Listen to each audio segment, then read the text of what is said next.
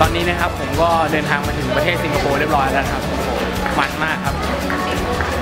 กว่าจะออกจากประเทศไทยได้นี่แทบแก้ผ้าฮะ